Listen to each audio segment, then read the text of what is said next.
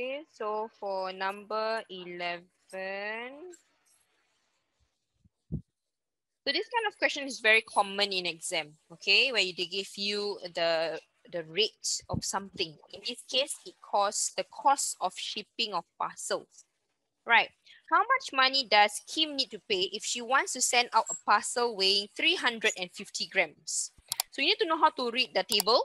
So they say the 100 gram and below means less than 100 is $3. 100 gram and lesser is $3 anything more than 100 gram, it is $2 for every additional 50 gram or part thereof. Means if it's 55, so you must pay $2 plus another $2 because 5 gram extra.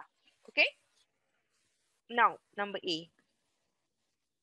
How much does she need to pay if you want to send out the parcel weighing 350 grams? So you put 350 gram like that. The first 100 gram you know it is $3. So this one confirm. The balance will be 350 grams. You take away 100 grams. You're going to left with 250 grams. So for this 250 grams, you must ask yourself, how many 50 grams are there inside 250?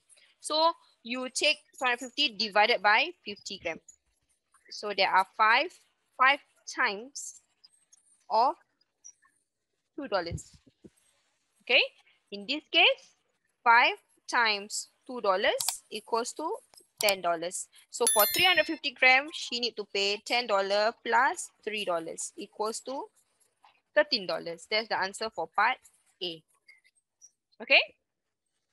For part B, if Kim pays $19 for sending out the parcel, what is the maximum mass of the parcel sent out? So now I have $19. So you know that the first one is $3, right? So you take out $3. And that is 100 gram. Okay. The balance will be $19 minus $3. This will give me $16.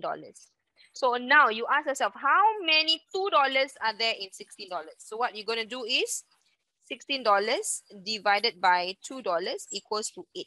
There are 8 times of 50 grams there. Okay, so which means 8 times 50 grams equals to 400 gram. Okay, so I want to know what is the maximum. I take 400 gram plus 100 gram.